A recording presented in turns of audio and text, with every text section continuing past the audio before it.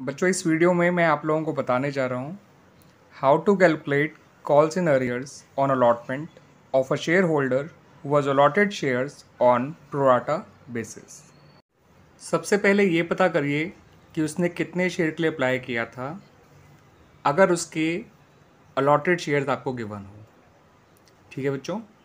तो अगर उसके अलॉटेड शेयर गिवन है तो आपको पता करना होगा उसने कितने शेयर के लिए अप्लाई किया था। तो फॉर एग्ज़ाम्पल जिस कैटेगरी को वो बिलोंग करता है, उसके शेयर अप्लाइड थे पंद्रह हज़ार और शेयर अलॉटेड थे टेन थाउज़ेंड।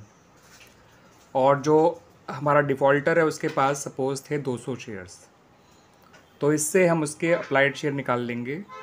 पंद्रह हज़ार ऊपर रखिए, यानी कि उसी कैटेगरी के टोटल शेयर अप्लाइड ऊपर रखिए। टोटल शेयर अलॉटेड नीचे रखिए, यानी दस हज़ार इंटू इसके अलॉटेड शेयर्स तो उसके अलॉटेड शेयर को टोटल शेयर अप्लाइड से मल्टीप्लाई करके टोटल शेयर अलॉटेड से डिवाइड कर दीजिए। इससे इसके अप्लाइड शेयर्स निकल आएँगे। ठीक है बच्चों?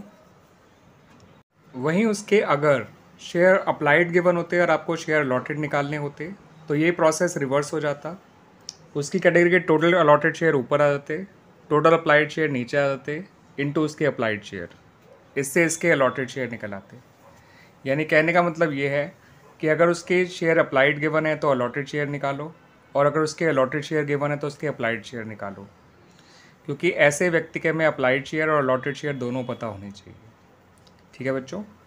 तो सबसे पहला स्टेप तो यही है आपका कि अप्लाइड शेयर पता है तो अलॉटेड निकालो, और अलॉटेड पता है तो अप्लाइड निकालो। अप्लाइड निकालने हैं तो अप्लाइड वाला टोटल ऊपर आएगा, और अलॉटेड का टोटल नीचे। ठीक है? और अगर अलॉटेड निकालने हैं तो अलॉटेड का टोटल ऊपर आएगा अप्लाइड का नीचे। इंटू जो भी उसके शेयर्स दे रखे होंगे अलॉटेड दे रखे हैं या अप्लाइड दे रखे हैं, उससे मल्टीप्लाई कर दीजिएगा। बस आपको ये ध्यान रखना है कि अप्लाइड निकालने हैं तो अप्लाइड का टोटल ऊपर, उसी कैटेगरी के लेकिन केवल।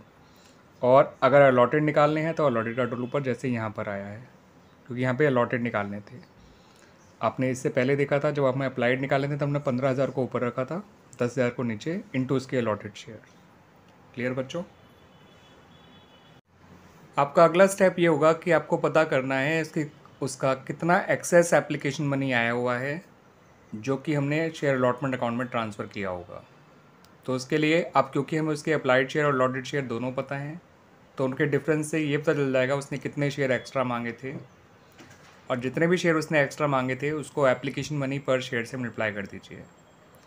जैसे हमारे एग्ज़ाम्पल में उसने अप्लाई किया था 300 शेयर के लिए, उसे अलॉट किए गए थे 200 शेयर तो इसका मतलब उसने सौ शेयर एक्स्ट्रा मांगे थे। और एप्लीकेशन मनी सपोज़ अगर दो रुपये है तो सौ इंटू दो हो जाएगा दो सौ रुपये यानी इसका दो सौ रुपये है, जो पहले का आया हुआ है एप्लीकेशन से अलॉटमेंट में ट्रांसफ़र किया गया है। ठीक है बच्चों तो ये हो गया आपका दूसरा स्टेप पहले स्टेप में आपने ये पता किया कि अगर उसकी अप्लाइड शेयर गेवन है तो अलॉटेड निकाल लिए। अलॉटेड गेवन है तो अप्लाइड निकाल लिए। ठीक है बच्चों? दूसरे स्टेप में आपने ये पता किया कि उसने कितना एप्लीकेशन मनी एक्स्ट्रा दे रखा था, जो कि शेयर अलॉटमेंट अकाउंट में ट्रांसफ़र किया गया। और सबसे आखिरी स्टेप में ये पता करिए, यानी स्टेप थ्री में, कि उसका अलॉटमेंट पे कॉल से अरियर कितना है। तो हमारे एग्जांपल में हमारे अलॉटेड शेयर थे 200 और मान लिया कि अलॉटमेंट मनी पर शेयर है रुपीज़ थ्री तो यानी उसको अभी देने हैं रुपीज़ सिक्स हंड्रेड और इसमें से जो आपने स्टेप टू से एक्सेस एप्लीकेशन मनी निकाला था, दो सौ रुपये उसको माइनस कर दीजिए। तो उसका कॉल इन अरियर आ गया रुपीज़ फोर हंड्रेड। ठीक है बच्चों? अगर ये प्रोवाटा कैटेगरी बिलोंग नहीं कर रहा होता, ठीक है तो इसका अरियर रहता सिक्स हंड्रेड। मगर क्योंकि ये प्रोवाटा कैटेगरी बिलोंग करता है, इसलिए इसका अरियर निकल कर आया फोर हंड्रेड। ठीक है बच्चों? तो देखिए, तीनों स्टेप्स जो हैं वो इंटरकनेक्टेड हैं। यानी कि सीक्वेंस में ध्यान रखिएगा इनका।